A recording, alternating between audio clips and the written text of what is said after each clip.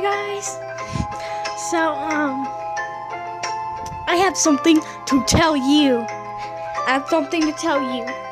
I got two fly potions, which someone scammed me and took one of the fly pets, but that was a bunny. But look, I have an ultra rare. You see, it's ultra rare and it can fly. Read the bottom.